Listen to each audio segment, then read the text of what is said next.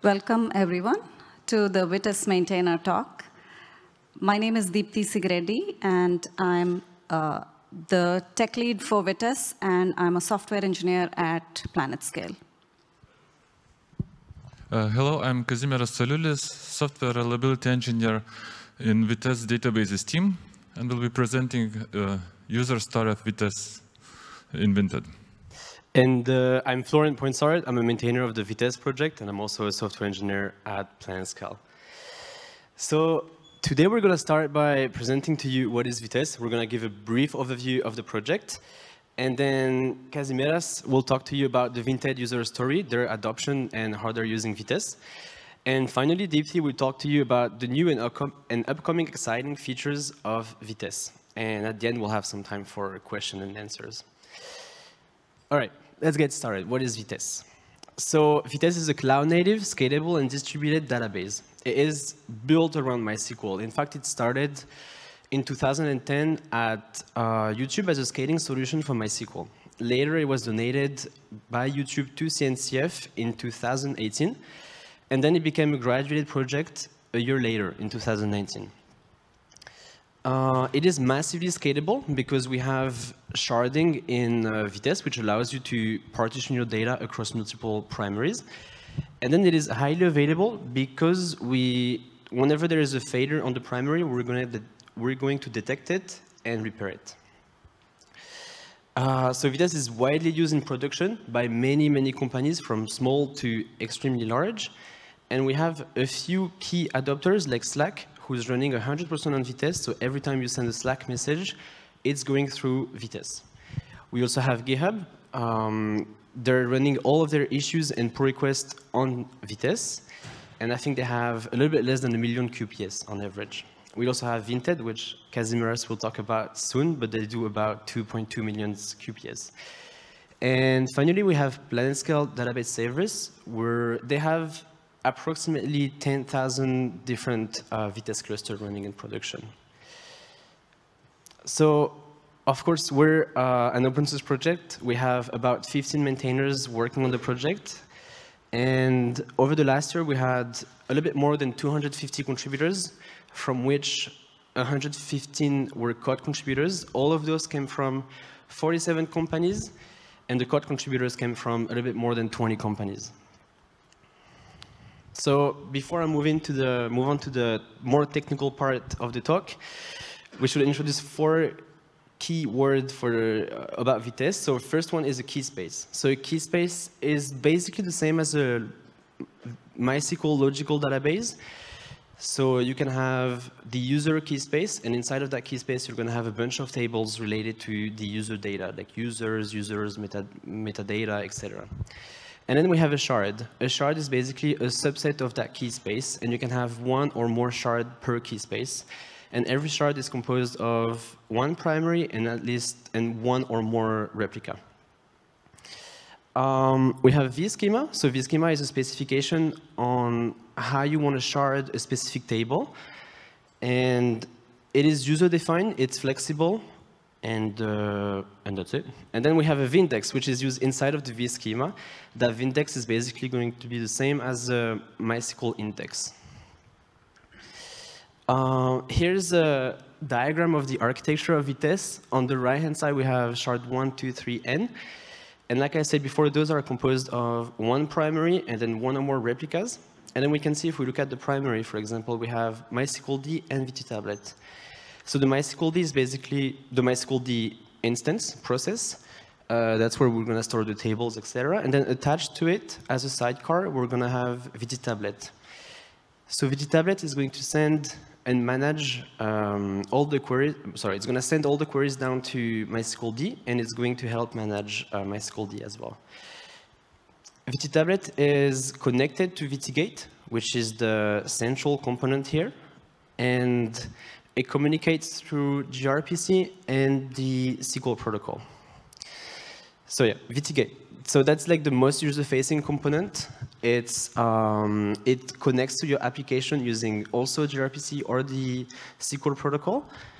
And it's going to receive a query. It's going to parse the query and interpret the query, and then it's going to send it down to the proper shard and key space. Uh, in yellow, we have the control plane. So VTCTLD is the CLI tool to administrate Vitess. VTORC is the orchestration tool. This is what allows us to detect a failure and repair the failure in the cluster. And finally, we have VTadmin, which is the UI of the of Vitess, the administration UI of Vitess. And in red, finally, we have the topology servers. So those can be usually etcd, Zookeeper, or um, I think that's all I would support. Maybe we support more, but usually it's etcd. Uh, so why would you want to use Vitess compared to vanilla MySQL? So we're trying to be as compatible as possible with MySQL. So we're adding query support um, over each release to be the, as compatible as we can. Uh, we have resharding, which allows you to reshard your data in as many shards as you want. We have materialization, which is almost the same as the MySQL materialization, but we update the view in real time. We have cluster management, so we have different tools to allow you to manage your cluster. We have non-blocking online schema changes, seamless backup recovery operations. We also have query consolidation, so let's say you have a student spike in, in your queries using the same query, we're going to send that query only once to MySQL, get the result, and respond to all the queries at the same time from VTGate to not overload the MySQL. And then we have automatic failure detection and repair. So that's thanks to VTORC. Now I'm going to pass it to Kazimieras to talk about the Vinted user story. Uh, hello again. I will present how and why we use at Vitess clusters. Uh, let's start what we do. At first, uh, Vinted applications allow to sell uh, second-hand fashion easily and safely. And with over 80 million users in 19 markets in Europe and North America, we are on the um, aim to make second-hand fashion preferred, world, uh, preferred choice worldwide. Uh, I'm very excited to present here in Paris because uh, in even all the France, our user community is biggest. And that's why a few years back we decided to start here our second brand, Vinted Go, that uh, helped to uh, make uh, better control of, of shipping of packages and take a uh, impact on climate of shipping. And currently, Vinted Go works in over 90 cities in France with over 1,500 pickup and drop-off points. And whenever a user adds some item to sell on uh, Vinted Marketplace, sends any message or ships any package, all this information is stored in one of our Vitess clusters. Uh, we are running uh, currently Vitess version 11 with some backports, mostly uh, some bug fixes or improvements for operations. Uh, all the clusters runs on bare metal, uh, managed by, uh, all the hosts are managed by Chef. And for any cluster level operations like monitoring, backups, provisioning, we write workflows using a temporal system. Um, as the Vitess is cloud native, we would like to move this way. And first steps we're taking, we're moving VTGates to Kubernetes. And currently we have uh, over an 80 uh, clusters. And these clusters run uh, over 200 shards, with all these shards consisting from eight VT tablets uh, paired with a MySQL instance. And they're spread through two regions, like in every shard, uh, four VT tablets run in one region and four in another. Uh, and all this allows us to serve over 1.2 million queries from primaries and about 1 million queries from replicas. We have about 30 terabytes of data, and we run 5,000 vStreams to export uh, data changes from Vitess to other systems like data warehouse or search clusters. Uh, and why Vitess? Um, one of the features that I like in Vitess is throttling API that allows developers, when they need to backfill some data or change a lot of data in the database, they can write a job which asks first the database, uh, is it healthy enough? and then write a small batch and ask again. In this way, uh, allowing to throttle if the database comes up to its limit and allows to, uh, for us to avoid some outages if we accidentally try to write a lot too much data than the cluster can sustain. Uh, when we first moved to Vitess, we initially had multiple MySQL clusters that were sharded from application side. Uh, but we saw that we uh, need a better solution. We started testing Vitess, uh, wrote a benchmarking tool that allowed to capture our workload from application. Like all, we had a feature switch that when we send some query to Vitess, we would send the same query to Kafka. Then we would uh, query and some metadata. And from that metadata, we would uh, collect uh, queries from the same request into separate batches and could replay on a test environment. Um, and then, let's say, migrate that environment to Vitess and compare how it goes.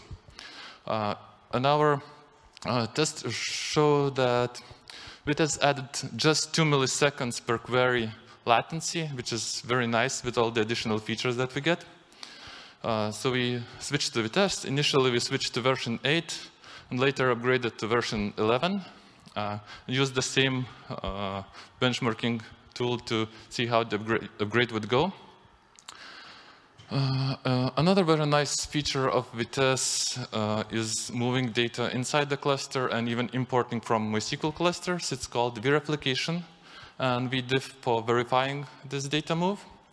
And it allows not only to easily move the data, but after cutoff, it allows to replicate data back in case something goes wrong, like you provisioned too small cluster uh, on the other side. Whatever, you can switch back to previous configuration without losing any data. Uh, but the primary reason why we chose Vitess is uh, that it allows horizontal sharding on top of MySQL. When you have one cluster of MySQL having only one table that you do not have like what to move out, and it's already too big, like migrations takes multiple weeks, uh, backups takes very long, and uh, the query latency starts to rise because of the load. This is where Vitess comes to help. Uh, we initially moved our clusters as they are into Vitess, like every cluster moved to one key space with one shard, and later on we uh, started sharding the most loaded ones horizontally. Uh, this required some more tooling.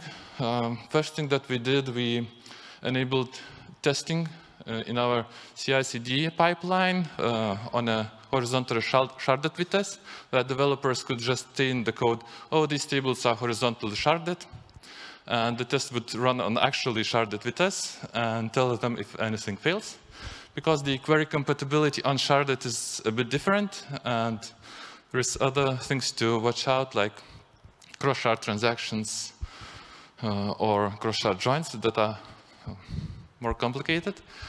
And uh, the other thing, like tests do not catch all the queries, so we built a, uh, in our query logging solution that collects all the unique queries, and we can run VT explain tool, uh, similar to MySQL explain. Uh, VT explain allows to see how Vitess would uh, execute the query. Uh, if it fails, if it succeeds, yeah, and running on these unique queries pretty much is enough to understand if your code would work when switched to horizontal sharding. Yeah, and what the benefit we got uh, there is historical screenshot from our Grafana when we switched uh, one of the most loaded key spaces into horizontal sharding. Uh, how latency is dropped on primary, uh, on queries going to primaries. And all the magic behind this was like Vitess horizontal sharding with four times more hardware serving this key space. Hmm. So here is a very short overview what we do with Vitess, but you can read in our blog, vinted.engineering, uh, these stories in much more details. We have multiple uh, blog posts, Vinted, Voyage, Vinted Vitess Voyage, how we migrated from MySQL to Vitess, uh, how our CI/CD pipeline works, and we hope to have more blog posts about Vitess in the future. Thank you.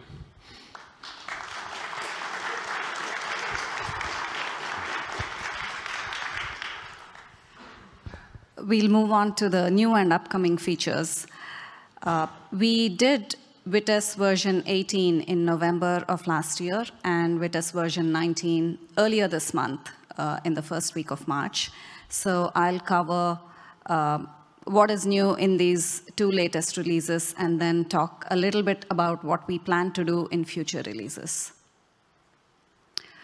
Uh, let's do query serving first. This is always a hot topic because MySQL is a moving target. They keep adding uh, syntax, new syntax, new features, and we have to keep up with those.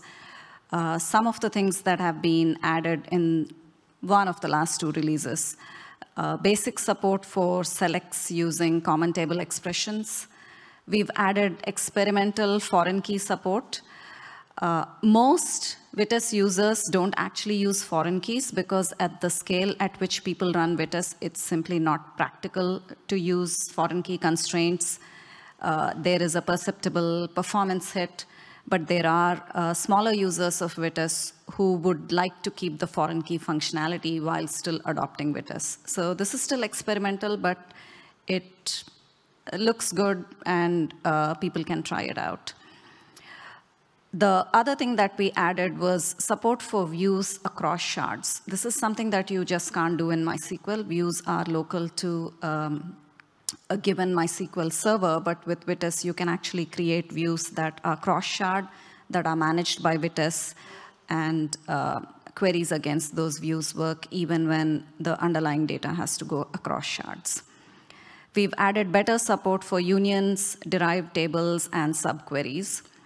And we also revamped our benchmarking website. So this is the uh, Vitess sub-project that we call Are We Fast Yet? benchmark.vitess.io.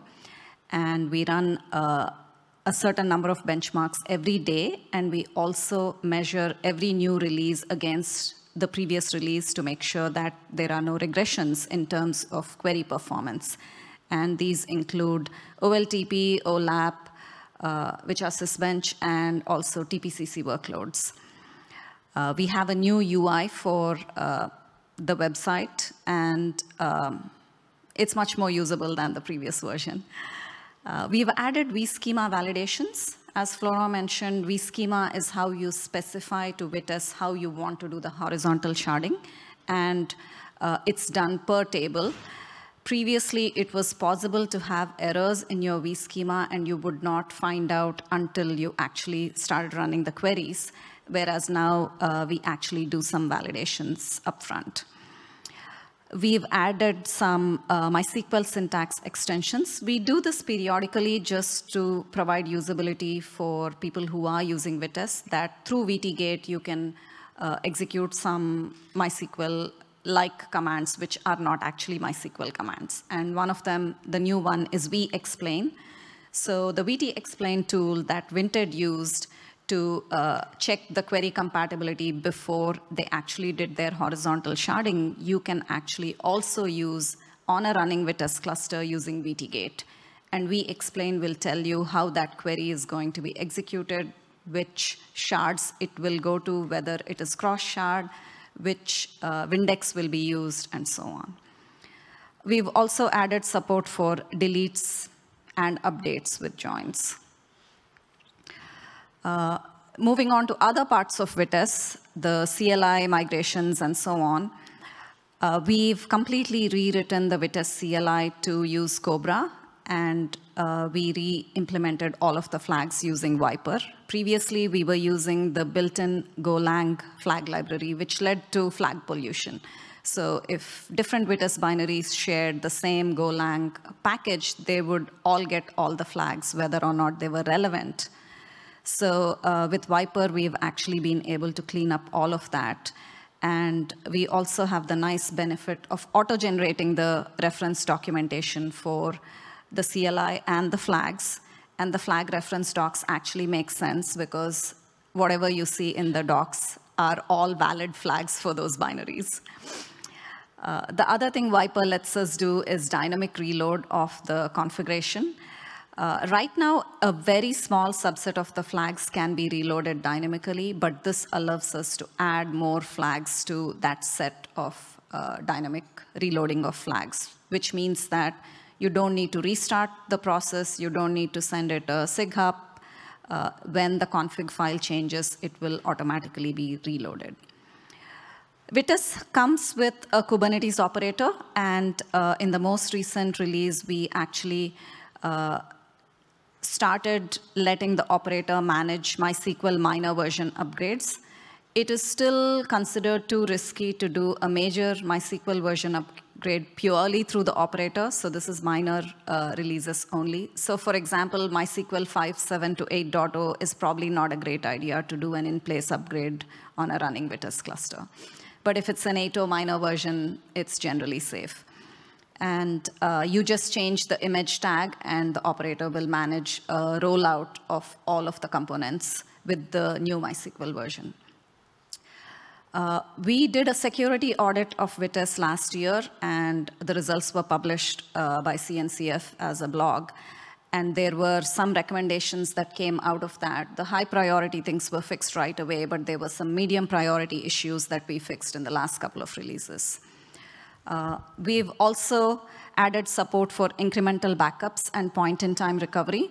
Point-in-time recovery is a Vitess feature that has actually been around for four or five years now, but it depended on being able to uh, read the bin logs from a bin log server, which had to be yet another component that you needed to deploy, make it highly available, and all those things. And that was complicated enough that most people would actually not use the feature. We have re-implemented the feature to not require a separate bin log server. We can just use the binary log files from MySQL to do point-in-time recovery. Uh, the other thing I want to talk about is near zero downtime migration cutovers. So there are various operations you do in Vitess where it is possible to have downtime. Your primary goes down, you have to fail over to a replica, you have a certain amount of down, downtime. It might be seconds, it might be a minute, but you also have planned operations. When you're doing maintenance on your cluster, you want to be able to fail over from a primary to a replica MySQL so that you can do upgrades and other types of maintenance on your primary. And those planned failovers, we want to be zero downtime. And Vitess has functionality for buffering write, write traffic to the primary and after the failover, once you have a new primary, that traffic will be sent to the new primary. Reads will still work. You can still do replica queries uh, while this operation is happening. There will be no interruption. But for writes, there will be a pause, and then the queries will be reprocessed so that you don't return errors to the client, to the application. But we've also implemented this buffering functionality for data migrations. So if you're doing, if you're using Vitess move tables to move data from your existing MySQL into a Vitess managed cluster, there is a point in time where you've finished all the copying and you want to cut over traffic to the new cluster. Previously, there would be between 10 and 30 seconds of downtime during that cutover. But now that we've implemented buffering, you don't have that even during those cutovers. And the same thing applies to resharding. When you do resharding, as Kazimieras mentioned, when you do resharding, it's possible to switch back and forth and keep the uh, old cluster and new cluster in sync. The same thing works for importing data or doing vertical sharding, where you're migrating tables from one key space to another you can go back and forth. But each time, there would be a short amount of downtime. So what we have done is with buffering, that is as low as possible. Uh, next up, performance and reliability. We've implemented more efficient connection pooling. Previously, we would end up basically doing a first in, first out type of connection pooling where all of the connections would get used which meant that when you initially started, it would take some time for things to warm up because you had to establish those connections to MySQL and fill the pool. We now have a much more efficient connection pooling where existing connections which are free can be reused uh, much faster instead of having to fill the pool. So, may, so you may not even fill the pool if you don't need to. So that just improves the startup times for clients. And it's more efficient in terms of memory as well. Um, we've implemented faster hashing for sharding. Hash is the most popular function that people use as their sharding key. And uh, what this means is that whenever you're trying to access data, first we have to compute the hash, and that, that, that tells us where that particular row lives. So this is in the common path, and faster hashing means that all the queries get faster.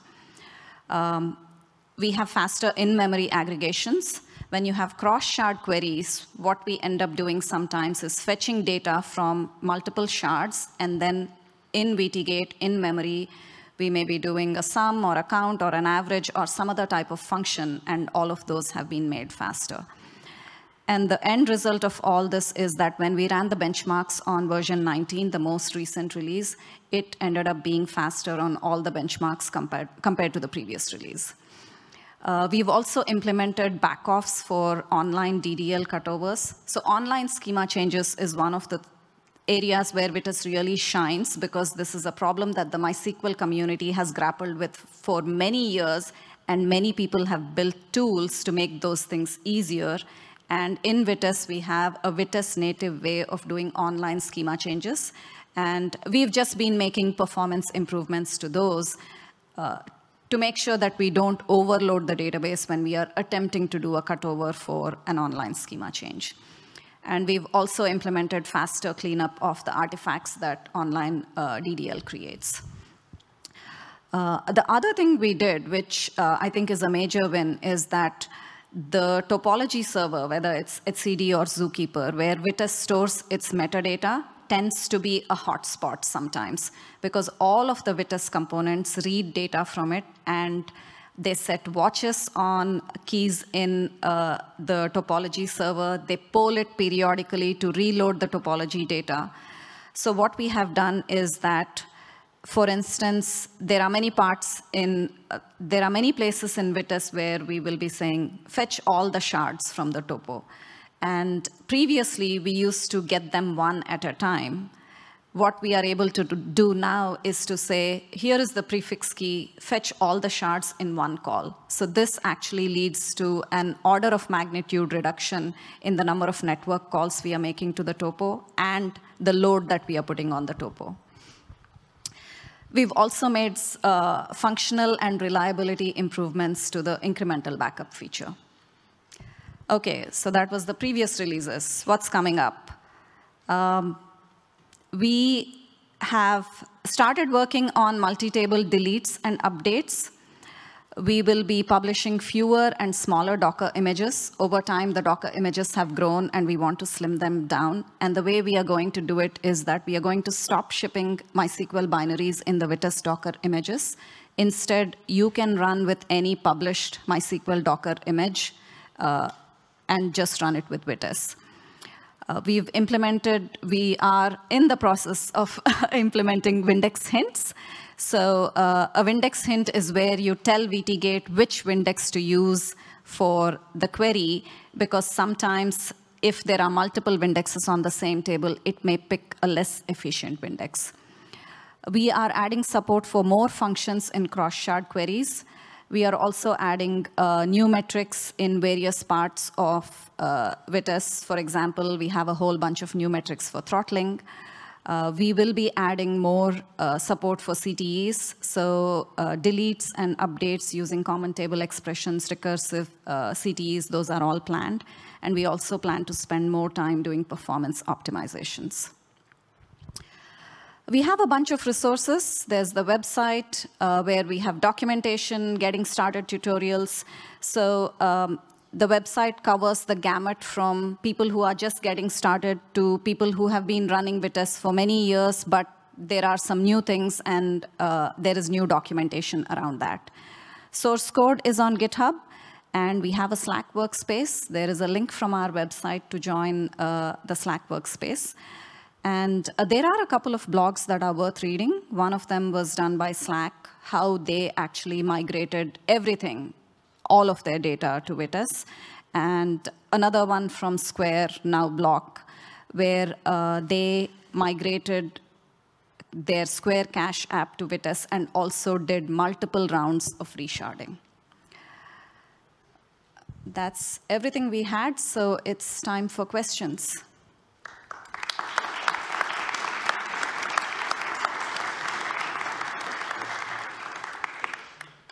Yes. You. Uh, in the Vinted presentation, you mentioned in your architecture something about eight. I'm not sure uh, it was eight node per shard. And can you explain why eight? I'm a newbie. Does it mean that it, one primary, seven replica? So you have a lot of read? Uh, yes, uh, we run one primary and seven replica, but like two replicas are reserved for uh, exporting data to data warehouse or some um, on-the-fly queries from developers if they need to uh, investigate something. So effectively like six serve production and two extra for longer workloads.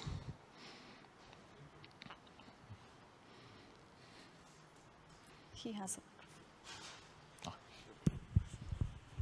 Um, you talked about a failover time of up to one minute. So, uh, how do you detect uh, a failure of the primary, and and uh, what needs to be done during failover? Uh, so I can understand this uh, one minute uh, delay. Uh, so we have a component called VTOrc, which monitors all of the VT tablets. VT tablet is the sidecar instance that is um, managing the MySQL. So VTOrc can, it's basically polling all of the MySQLs every second, essentially. And uh, if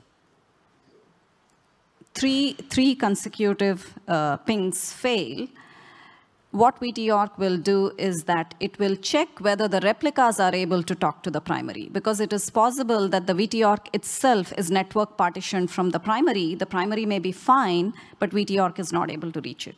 So VTOrc does the failure detection, which takes up to five seconds after your MySQL actually goes down. And then it'll do a failover to one of the replicas. And typically, it doesn't take one minute but it is possible for um, it to take, say, 15 or 20 seconds. So typically, we see failover times of around 15 seconds. But sometimes it may just take time for some replicas may not be eligible for promotion the way you have configured the cluster, right? Because maybe you have uh, distributed it across regions and you want to keep your primary in a certain region and it's possible that the replica you've, that is eligible for promotion is not fully up to date. Then you have to find something else which is up to date and replicate all the pending or the missing transactions from there, which is why I said it could take up to a minute. Mostly, we don't see it taking up to a minute as long as the replicas are pretty up to date. Yes. Uh, okay, hi. Um, you were talking about um, point-in-time recovery utilizing the MySQL bin logs um, inside Vitess, so to speak, without using a binlog server. So the question I have is, um, where um, are those bin logs kept and um, to, which, to which size can they reasonably grow before you have to cut them, allowing for which window of time without breaking down major function of the Vitess service itself? Right. So um, Typically, when Vitess is managing the MySQL, there will be a directory specified where everything is stored. All the MySQL files are stored there. And uh, at the MySQL level, you are specifying a bin log retention period. So that could be three days, that could be seven days. Depending on the amount of disk you are able to provision for the VT tablet, you would specify that, and that will be as far as you can go. You will not be able to go any where beyond that. So if you can afford to provision a huge disk, then you can have a 30-day retention, and you can go back up to 30 days. What we have seen is that people typically run with seven days of bin logs, and sometimes even shorter, depending on the volume of their updates. because there are some people who just do frequent updates. They have like a modified at date or last access date. Then you just produce billions of uh, bin logs, and you simply can't afford to keep them for 30 days. So all that is configurable.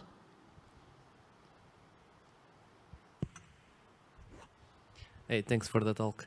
Uh, you mentioned that Vinted is running 80 clusters. Did you do you do you if if the technology um, scales horizontally, do you do it for maintenance purposes? What's the reason for so many clusters? Uh, like we effectively run one cluster per separate service that we have. Yeah, so we do not allow separate services to connect to the same with Vitess cluster, like separating database.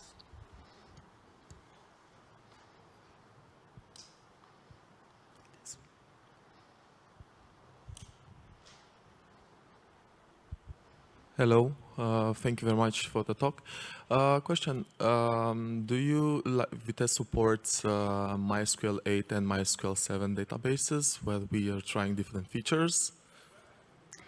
Vitess does support, well, we have just uh, end of life MySQL 5.7 exactly. support because um, MySQL 5.7 itself is EOL. So technically, we really only support MySQL 8 at this point but we are keeping a certain amount of MySQL 5.7 support so that people can migrate. So it is still possible to put Vitess in front of an existing MySQL 5.7 database and migrate all of the data into a MySQL 8 database. And uh, one last question.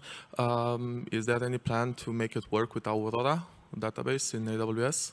Uh, we don't currently have any plans to make it work with Aurora. So the stance when it comes to something like RDS or Aurora or MariaDB, all of which people have actually run Vitess with in the past, is that it is very difficult for us maintainers to maintain that many versions. So if there is interest from the community and someone really wants to run it, then they will need to try it out. And we can help them, but it's just too much for the maintainer team to maintain so many different flavors. So there are people who ran it with RDS for a long time, and that worked.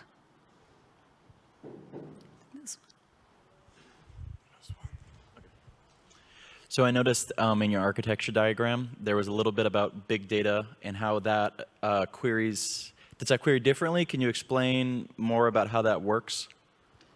So uh, in Vitess, you typically configure timeouts for the queries. And those timeouts don't apply if you are um, running in a specific mode. So when you're doing big data or analytics, you can specify that you want to run in OLAP mode, and then we don't time out the queries. They can run for a long time. So it's possible to provision a different type of replica, and you can provision it with more resources if necessary, and execute OLAP type queries. I think we are out of time, so we are happy to chat off stage. But thank you, everyone, for attending. This was really great, and I loved all the questions as well. Thank you.